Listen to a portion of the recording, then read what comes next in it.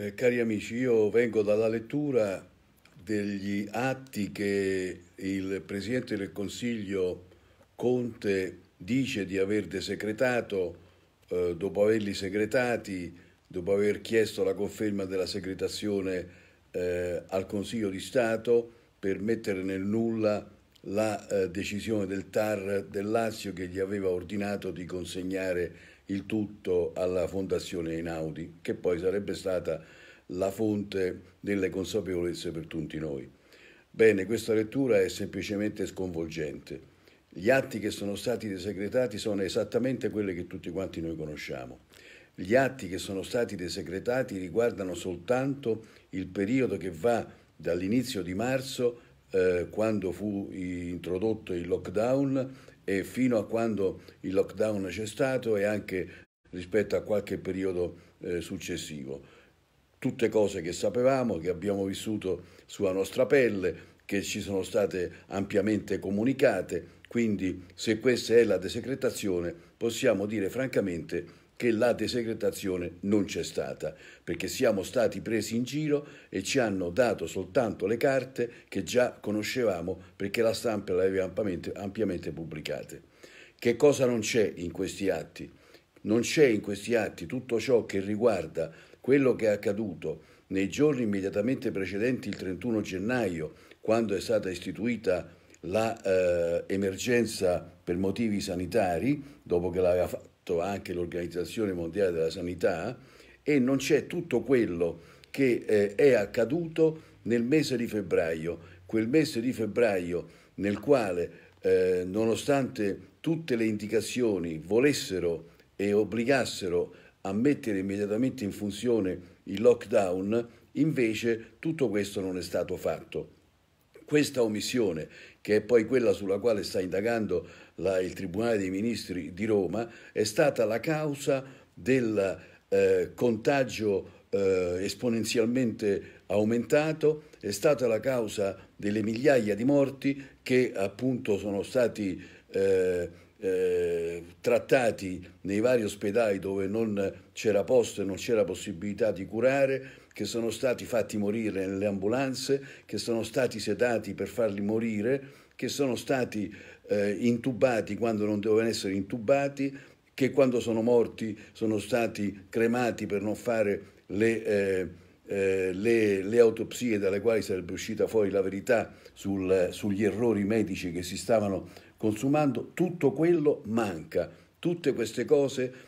sulle quali naturalmente eh, era più forte l'attenzione, anche perché c'è un procedimento penale pendente nei confronti di Conte e di Speranza, come ho ricordato prima, davanti al Tribunale dei Ministri di Roma, tutte queste cose mancano nella maniera più assoluta. Quindi questo è il dato di fatto con il quale ci dobbiamo confrontare, questa è la situazione nella quale ci eh, ha costretto questo governo, a me non interessa il colore politico, mi interessa soltanto di dire che io volevo sapere, tutti avremmo voluto sapere perché eh, e con quali decisioni e sulla base di quali supporti eh, Conte aveva ritenuto di non adottare alcuna cautela o cautele molto, molto blande in quel periodo di tempo e invece si sono accatastati morti, si sono accatastati contagi, stata, è successa quell'ira di Dio che tutti quanti conosciamo. A questo si aggiunga che mancano tutte le eh, eh, indagini, analisi effettuate per giungere, eh, o meglio per non giungere ad applicare eh, le zone rosse, rosse dove dovevano essere applicate e in particolare mi riferisco alle zone di eh, Nembro e di Alzano Lombardo. Eh, rispetto a queste, sulle quali come si sa si discute perché si contesta che eh, eh sia stata istituita eh, la, la, zona, la zona rossa soltanto in tempi molto successivi a quelli che erano stati concordati e a quelli che erano stati rappresentati alla ehm, alla regione Lombardia, su questo totalmente eh, silenzio assoluto. Silenzio assoluto infine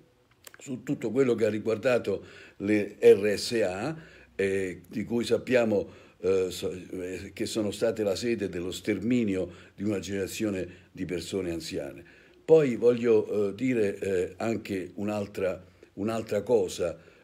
che emerge dal, dall'analisi eh, di questi, di, questi, atti. Eh, quando si è trattato di, di prendere in considerazione le varie zone, parlo della Sicilia, parlo eh, parlo della, della Romagna, eccetera, nelle quali si trattava di eh, assumere eh, particolari eh, cautele perché la situazione, i famosi eh, cluster di cui si parla molto anche oggi, anche lì su questa tematica non c'è assolutamente nulla che viene dato come indicazione, come documentazione sulla base della quale tutto sarebbe stato deciso, o meglio tutto non sarebbe stato, eh, non è stato proprio deciso. Quindi veramente siamo in una situazione nella quale ci hanno preso in giro, cioè ci hanno preso per i fondelli, io non sono abituato ad usare eh, parole volgari, però capite che cosa invece vorrei dire, ci hanno preso per i fondelli, ci hanno dato questo contentino e del resto, scusate, se fino a questo momento questo signore ha fatto la battaglia per, per non consegnare eh, la documentazione, è evidente che la battaglia la si fa quando eh, i documenti scottano, i documenti sono pericolosi, i documenti ti incastrano su determinate responsabilità. Stranamente questi atti sono tutti tranquilli, sereni, sono gli atti, come ho detto all'inizio, che noi perfettamente conoscevamo, che abbiamo saputo da tutti gli organi di stampa, quindi eh, sostanzialmente una, eh, una truffa eh, vera e propria consumata dal governo italiano nei confronti dei cittadini italiani. Ancora una volta io dico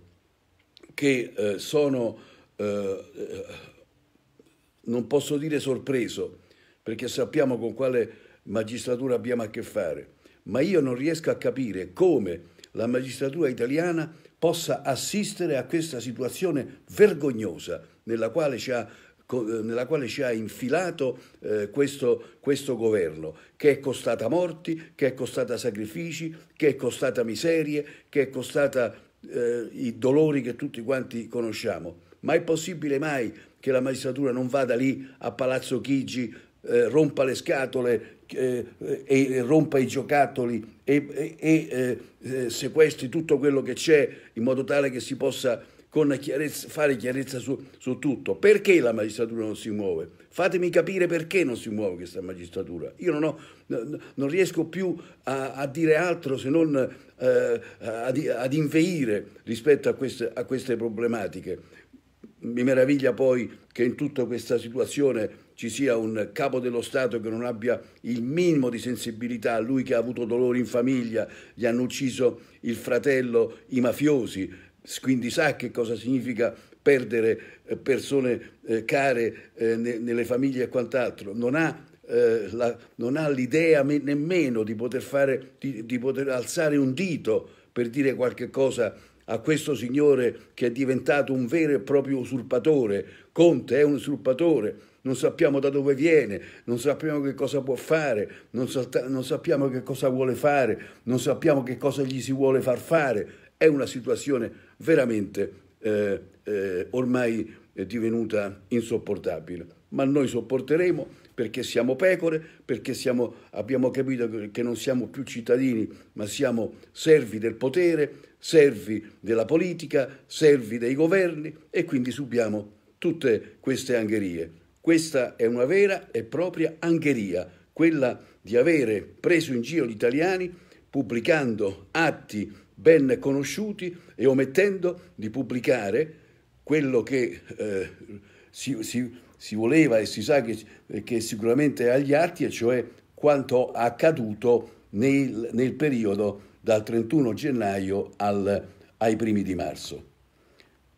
Mi auguro che ci si dia tutti una mano per cercare quantomeno di capire e se dovesse venire fuori eh, una iniziativa che in qualche modo possa bloccare questa situazione, eh,